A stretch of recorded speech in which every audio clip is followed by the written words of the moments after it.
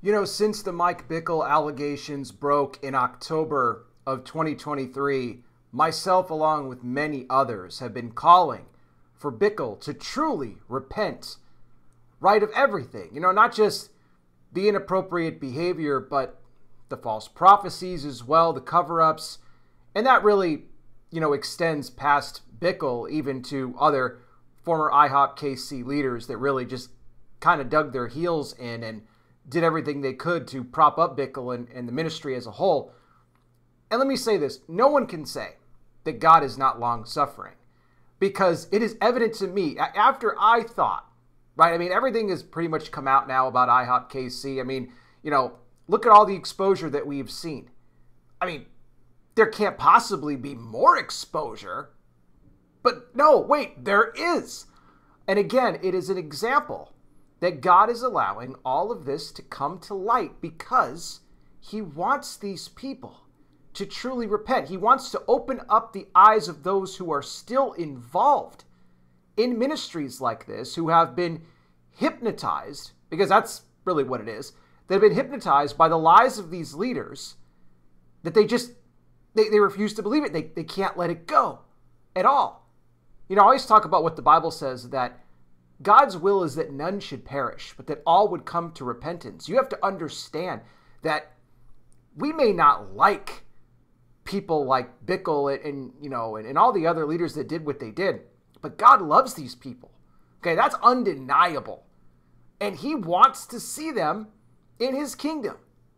Now, that's up to them whether or not they're going to do that or not. They have been given every chance and every opportunity. And when they go before him, on the day of judgment, they have to give an account of their life. They cannot say that they did not have ample opportunity and time to turn it around, to truly repent. So that leads me into this. With this just huge piece of news that has come out, again, another exposure. Will this be what leads Bickle to finally come out and repent and reveal that IHOP KC's entire prophetic history is a sham? We'll see. We're going to get into this. It's very interesting. Welcome, everybody, to Not by Sight News. Yes, a blind Christian guy here reporting to you, reminding you, as always, that we walk by faith, not by sight. For someone like me, that's kind of my only option. Speaking of that, for those interested, you want to know my story. How did I go blind? How in the world do I operate my entire ministry without being able to see? I made a video that explains it all. You'll find a link to that in the description section of all my videos if you want to get to know me better. And also, if you enjoy and appreciate the work I do here, why not consider making a donation to help me out? There's a few different ways you could do that. One, by just hitting the super thanks button on the YT video here, or you can make a monthly contribution, join my Patreon for as little as five bucks a month, patreon.com slash notbysightnews. Link there in the description. Bunch of cool features with Patreon, but one of the ones that I love the best is that when you join Patreon, you get all these videos before they hit the main YT platform, okay? So you're going to get this ahead of everybody else. I hope you will go ahead and check me out. Join me over there again, patreon.com slash not by sight news. Big thank you to everybody already contributing and those thinking of doing so. Thank you as well. Your generosity is greatly appreciated. A huge piece of news that was dropped by the Kansas City Star. They have done a really good job of reporting on everything relating to IHOP KC and Mike Bickle since the allegations first broke back in October of 2023.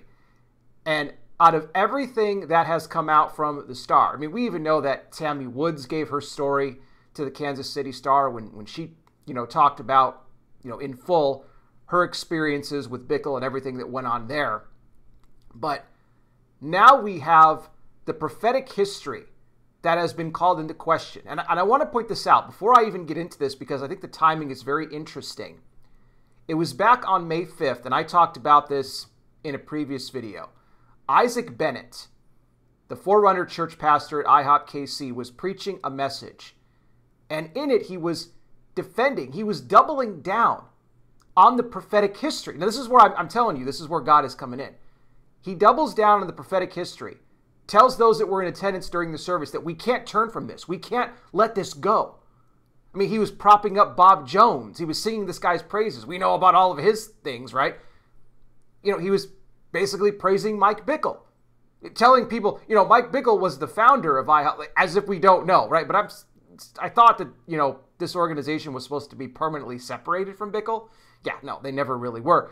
And, and this was strange because, you know, Bennett had expressed that, you know, he was really seemed interested, at least to me in the beginning, although I was skeptical, that he really did want to permanently separate from Bickle and, you know, move IHOP KC in a new direction until that leaked recording of the internal staff meeting came out where Bennett was talking about how, well, IHOP KC, we don't want to be liable here. You know, we don't want lawsuits coming against us. And so we're going to rebrand and we're going to restructure. And it's just like, you, you basically just outed yourself. How could you say that? You know, they probably didn't think that it was going to get leaked, but I mean, in these days, you know, transferring assets and everything else like that. So, you know, I really believe this guy's true colors were on full display here. And There was all sorts of talk that Bickle was in his ear potentially. You know, whether or not that's true or not, I don't know. I mean, I know the influence of Bickle is strong, and the fact that you know Bennett was singing his praises here, maybe he actually was in his ear after all. So that's on May 5th. Now, two days later, on May 7th, because I got to kind of give you this the background here, because it's going to lead up to what we're going to get into. Uh, two days later, on May 7th, at Hope City, KC. This is the inner city prayer room there that is run by Mike Bickle's sister, Lisa, along with Bickle's nephew, Richie.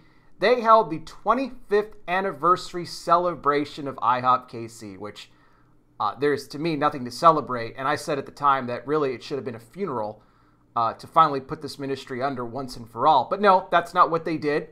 They instead, again, it was much like Bennett's sermon on the 5th, two days prior, singing the praises of the organization propping up Mike Bickle. They even played a video of Bob Jones up on the you know the screen there, and you know you had the Edwards that Misty Edwards was there doing worship. Okay, so she's you know still in the mix there. You had Diane Bickle. Bickle's kids were there. Mike Bickle wasn't there for the actual quote unquote celebration. Uh, but this was just absolutely disgusting. You know, again, after everything that we've now seen come out about this place and, you know, all the victims that have come forward, here they are just, you know, saying, "Oh, look at the me! Look how great it is." It's like they're holding on for dear life, and it's just IHOP KC hit the iceberg a long time ago, uh, but these people are just they refuse to let this thing go, and they continue to double down on it. So that was on the seventh. Now this leads me into the report by the Kansas City Star. They dropped this.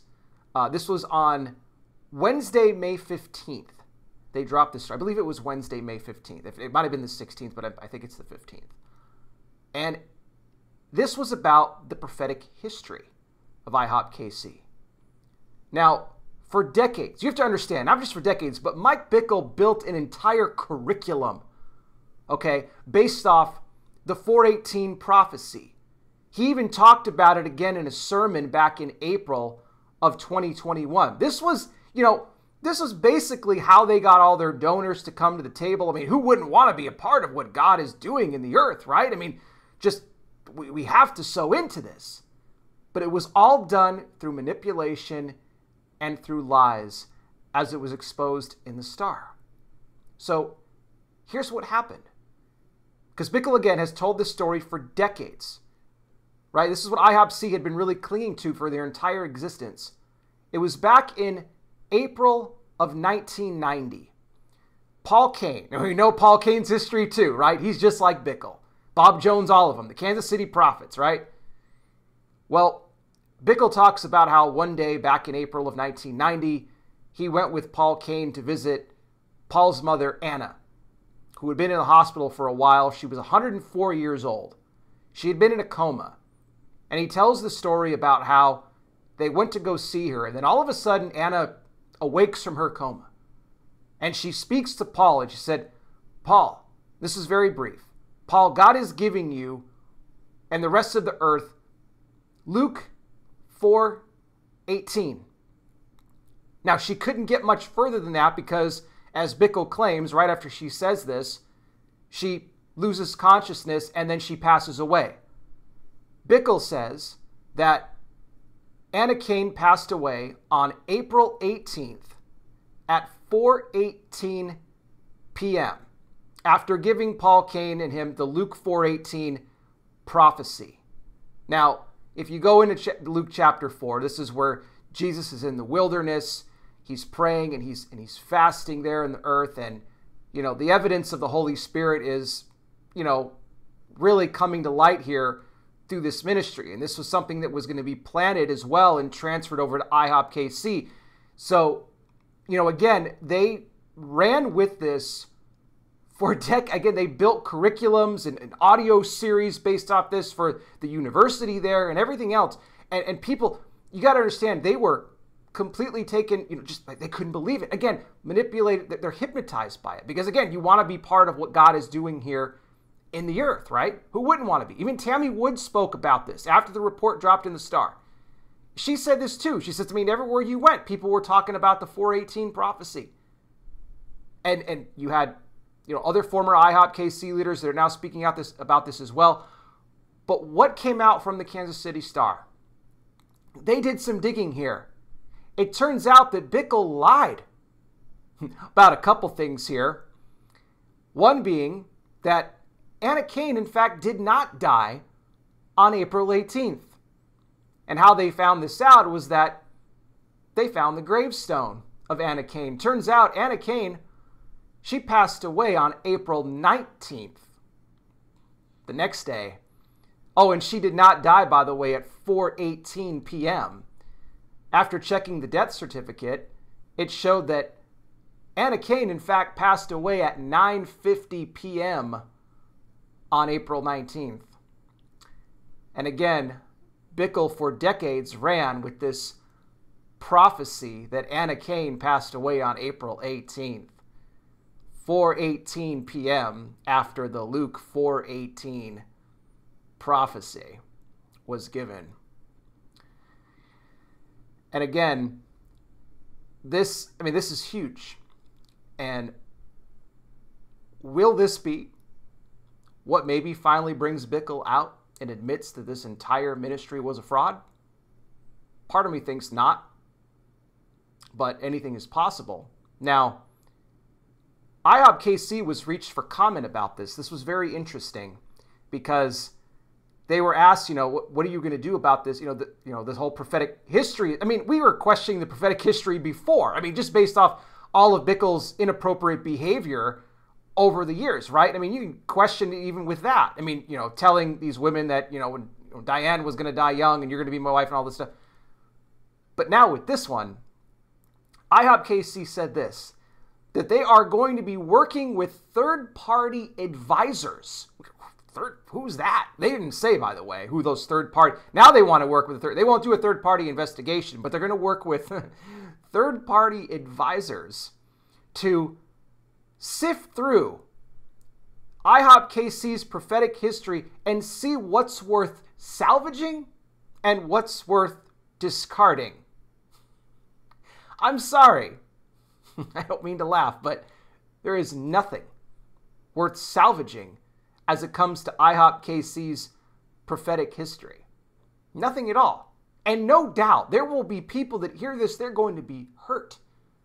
So pray for them because, again, they trusted not just you know Mike Bickle, but this entire organization because they bought into a prophecy that was given. And here's the thing. Here's the thing. Looking and again, we you know, there there's been other things that have led us to this conclusion already, but but now based off of this and the whole Anna Cain deal, again, really she dies on April 19th at 9:50 p.m., not April 18th at 4:18 p.m. The entire foundation of IHOP KC was not based on anything that was given by the Lord. It was man-made by Bickle to serve as his own playground for inappropriate behavior and so much more. What more will come after this huge revelation? Only God knows. But again, I'll point it back to what I said here at the very beginning of this. You can't say that God is not long suffering. He is allowing all of this to come out, again, because he wants genuine and pure repentance. Isn't that a great example of what a good God we have? Of what a great God we serve? That he has allowed so much time, so many chances for these individuals. All you got to do is cry out to him fully repent. Take yourself fully out of ministry. Some may think, "Oh, I, I just, I, it's, it's, I've done too much. I can't go look at I mean Bickle has done so much wrong, right? But at the end of the day, even still, God would be willing to forgive him and allow him into his kingdom. It's, it's just I just I can't get over that. That's amazing. And I think sometimes we lose sight of that. You know, we, we talk about these issues in the church today, and, and, and we need to. It, it's important. But, you know, still, everyone talk, oh, the wrath of God is coming. It is. It is. We're not there yet. We're not, there's, you know, we're still in that little small window left where people can repent, but, but it will end. That, that, that time will come to a close. You just hope it's not, you know, too late before these people make that decision to fully repent and change. We'll see where it goes. But I want to hear from you on this. You guys can let me know your thoughts down below. And again, if you enjoy and appreciate the work here of this ministry, feel free to donate. You can do it by just hitting the super thanks button here on the YT video or join the Patreon for as little as five bucks a month, patreon.com slash not by sight news link in the description. What I want to do right now, something I do on all these videos, let's end this video on hope. It's part of my ministry outreach. This is an altar call. I've been doing this on my videos since 2016. No matter what it is that I'm discussing here in the church, exposing the false prophets, we always want to give people that opportunity to receive Christ as Savior. So, for anybody watching now, if you are somebody who has not yet received Jesus into your life, I want to lead you in a prayer to do that right now. This is a prayer you could do in your own words, but I will give you the steps you need to bring it before the Lord today. First thing that you want to do right off the top, acknowledge you are a sinner. That is something that we all are. The good news is that God gave his only Son, Jesus Christ, to die on that cross for the sins of all the world, as he died and rose again for you and me. He paid the cost. What you have to do is repent of your sin. That means to turn from sin, not just to say you're sorry and then jump back to your old ways, but to actually turn from sin, which are those lifestyles, patterns, habits, behaviors, things in your life that go against the Word of God. If you humbly go before the Lord, though, and ask Him to forgive you, He'll wipe your sin away and the Bible says he doesn't remember it any longer. And then you invite Jesus into your life to be your Lord and Savior. When you do that, you become born again, a child of God. You will have eternal life. Trust me when I tell you there is no greater decision that you will ever make than the one you do to give your life to Christ. And I pray you make that decision today. Again, more info down below. I welcome your thoughts. Thank you all again so much for watching. I really do appreciate it. I'll be back with more. You guys take care. Please be safe out there. God bless each and every single one of you. And I'll talk with you soon.